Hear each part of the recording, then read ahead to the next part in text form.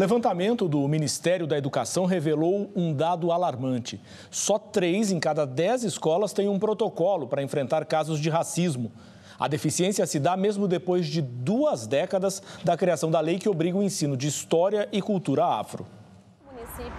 É o primeiro diagnóstico que o Ministério da Educação faz desde a criação da lei de 2003, que tornou obrigatório o ensino da história e cultura afro nas escolas brasileiras. O questionário respondido por prefeitos e secretários de educação de todo o país revelou que as políticas educacionais para as relações étnico-raciais ainda são pouco aplicadas e de forma desigual entre estados e municípios. De acordo com o levantamento do MEC, 46 36% das escolas municipais e quase 90% das estaduais ofertaram cursos de no mínimo 30 horas a professores sobre o assunto.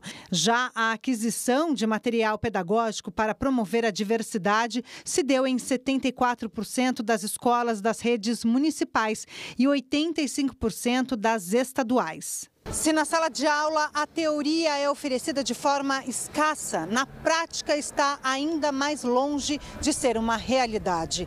Em cada dez escolas municipais, seis não têm um protocolo de ação pronto para ser aplicado em casos de racismo ou injúria racial. Na rede estadual, o índice é de 41%. Os dados do Ministério da Educação servem agora para ajudar a identificar e solucionar as falhas na implementação da lei. É importante porque é a primeira vez que a gente tem dados efetivos né, desse tamanho, desse montante, para quantificar e para nos mostrar o quanto, na verdade, a gente ainda precisa caminhar muito em direção a uma educação efetivamente antirracista.